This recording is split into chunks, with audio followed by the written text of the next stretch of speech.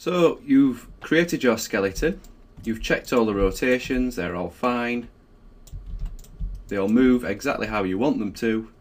Now we need to get the mesh to move with the skeleton. So there are various options available to you to do this. So we're just going to select the root joint, select the mesh, and we're going to go to skin, bind skin, smooth bind and open the options. Just reset these. So again in Maya 2013 in the recent extension uh, updates there's a new bind method called heat map. If I if I set that. Now this calculates the fall off from each joint to each vertex, vertex sort of differently to the traditional ways. It does take a little bit longer but it gives a much nicer um, result. So what I'm going to do is I'm just going to demonstrate this, but then I'll go back to the classic way for those people who aren't using the most up-to-date version of Maya. So basically, we just set that to heat map. We want to bind it to the joint hierarchy because we've only selected the root joint.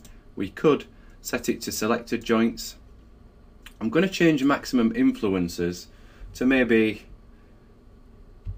two for now, just so we can uh, restrict how many joints influence each vertex. And the drop off rate, I'm going to set that to 10, which just keeps the influence closer to the joints. So I'm going to click apply, it'll come up with some sort of warning, but then we'll, uh, we'll just demonstrate uh, the result we get with this. I'll pause the video while it does it because it does take a minute just to run through. Blah blah blah, yep, click continue and I'll just pause. So that is done.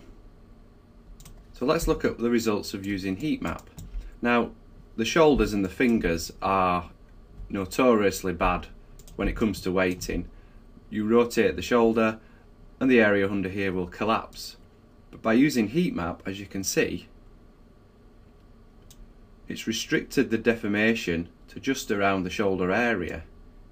We've got a much nicer, well, deformation can check the uh, elbow. Again, yep, these weights aren't perfect and I can just spot the edges, ends of the fingers which look a bit broken, but you're never going to get absolutely perfect weighting. What you're looking for is basically a good head start, so there's less cleanup. Look at our bicep twist. That rotates okay. So a lot of this we probably don't need to touch apart from the odd tweaks where it maybe pinches too much here and there. Let's just raise that arm back up. As you can see, the fingertips have been missed off. So it may be that we just, we could maybe adjust the uh, heat map fall off perhaps, um, and then redo it and just see what that sort of uh, result that gives us. But let's have a look at the fingers now. Now if you've used uh, smooth skinning before, you'll know that if you, with a default skinning, if I rotate the finger here, it's going to affect the finger here, which we'll see in a second. But by using heat map, that's just given us a nice head start. Yes, we have the uh, vertices at the end of the finger here, which need adjusting.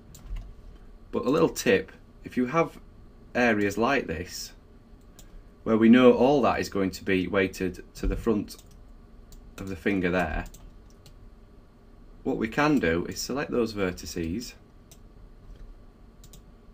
go to our component editor, let's just bring that down here. If we select smooth skin, we can see here are our selected vertices and here are the weights to each joint. So that finger is the index finger. So we don't want any influence on any other fingers, so let's just select that, press 1 and that's moved that down there. Let's just zero this out here and zero that out there. So that's just weighted that completely to the end of the finger there and we didn't have to mess about painting weights. So that's another option for going in and just fixing those odd stray vertices on the end of the finger. So that's heat map. So let's just uh, undo all that. Blah, blah, blah, blah, there we go. So if you haven't got this version of Maya, let's just go down the traditional route. Select your joint root, select your skin, go to skin, edit smooth skin, uh, bind skin, smooth bind. Let's just reset those settings. What we're going to do, joint hierarchy, we're going to leave these exactly as they are. Maximum influences, we'll set that to 2 again. Drop off rate 10. So we're just using the classic linear skinning method. Let's bind the skin. Let's see what the results are by just using that. And here this is the, what we're getting now. This is what you probably normally see when you do your uh, binding. But basically, the shoulder is influencing a lot of the area under here. And if we go back to the fingers, we'll see, well that's actually not, not too bad. That's quite surprising.